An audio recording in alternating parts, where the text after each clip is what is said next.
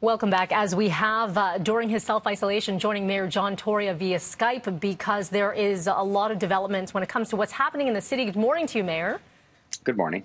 Let's begin here. This is your last day in self isolation since you returned from the UK, from when you returned from your trip there. Um, though I assume you're still going to be working a lot from home and practicing what you preach. Yes, I think that's very important because again, I'll be free to do anything I want, and I guess you know you could smile and say to yourself, "Well, there's not much to do in the city. There's nowhere to go." I, I maybe just will step outside for a walk or even go for a ride on the elevator, which I haven't done for two weeks. But uh, you know, after that, I will be going to the city hall each day and spending mm-hmm. some time there in some of these briefings that I haven't been able to participate in personally. But otherwise uh, I would intend to work from here because I want to set the example again of saying that you can do it, uh, that you should do it uh, wherever possible. And if I am saying that to people, then how can I not be doing it myself? So that's what I'll be doing. Absolutely. I want to go right to a tweet, actually. Uh, we put this out to our viewers on what they are wondering about. And it's a, about enforcement. A lot of people are asking questions about putting measures in place to find travelers who are maybe returning home and then they go to the grocery store or those who are gathering in big crowds. This specifically coming from one of our viewers named Jesse. Uh, are there is there more discussion when it comes to possible penalties?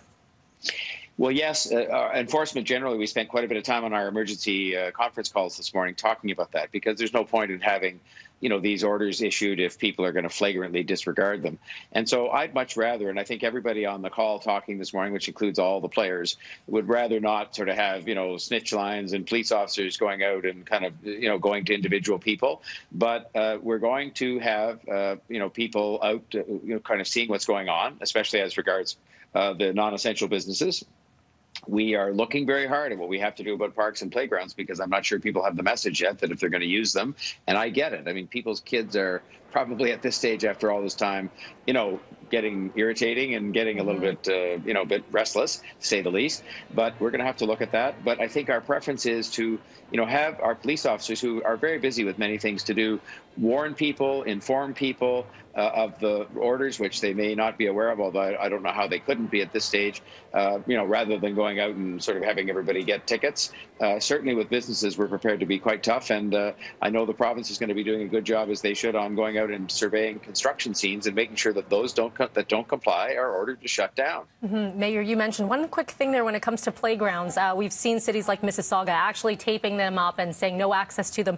I've only seen a handful of signs here in the city of Toronto that are more so saying we are not sanitizing the equipment, but not an outright blocking of them. Is that a possibility then in the near future that we could see that? Yes. Okay. I okay. mean, it's, you know, look, I'm saying it yes because that's a straightforward answer. To say that we're monitoring very closely whether people are getting the message that they shouldn't be congregating and letting even the kids or the adults uh, be in close quarters in those playgrounds and parks. And if the medical officer of health and myself uh, talking about it, which we did this morning and we do almost every day, are not satisfied that people are getting the message and practicing uh, what we want them to do, then uh, more steps will have to be taken. Okay, thank you for that. Uh, I want to ask you a little bit about um, a TTC driver uh, recently testing positive for COVID 19 and what things are being put into place. There are still a number of people taking public transit. It is an essential service. Uh, have there been more discussions with the transit system? Yes, uh, the ridership is running at about 19% of normal, uh, so that's very low. And so that means that generally speaking, the subways and, and streetcars and buses, as most people will have observed, are not crowded. This was a subway operator who got this, which seems more unlikely only because subway operators, as you know, are enclosed in a in a in a in a, uh, in a cab, uh, you know, in the front. So um, you know what we have done, of course, is to follow up by allowing uh, TTC uh, workers to wear masks. We have uh, eliminated uh, front door boarding so that those people aren't close to the operators. We have stopped the use of uh, tokens so that they don't have to pay at the front. So we're doing all the things I hope that are responsive to the concerns of the union and the individual workers who, let's remember, are doing a great job for us, just like the healthcare workers, the public health workers, the grocery store workers. These are people that are on the job, uh, keeping the city going. And so we want them to stay safe. So I think we're trying to be responsive to everything they want us to do and everything we should do to keep them safe. Um, and that's what we'll continue to do. We've seen some positive cases in our shelter system. I know these are ongoing discussions with what can be done. Uh, do you have an update there?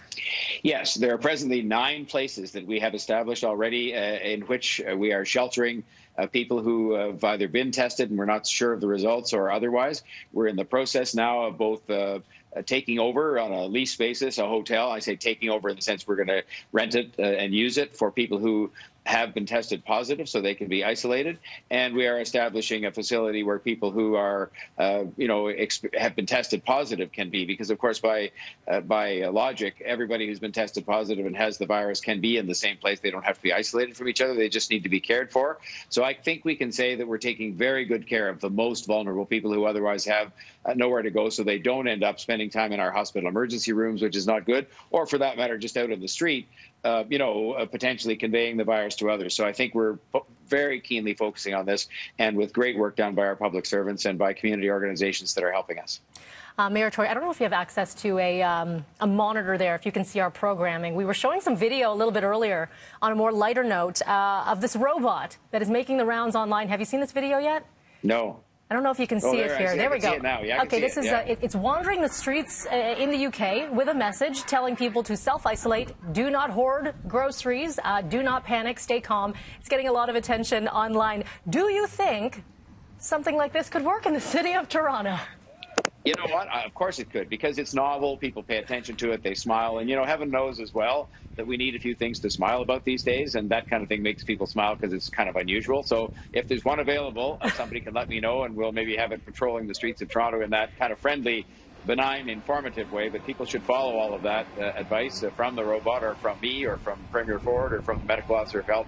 Please do those things. Please stay in in, in your home. Uh, please don't associate closely with others. Uh, please don't go shopping any more often than necessary. This is how we beat this. Yes. This is how we beat this by doing this. And uh, if the robot helps, bring it on.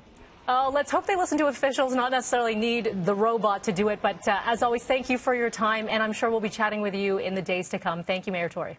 Thank you very much, Melanie.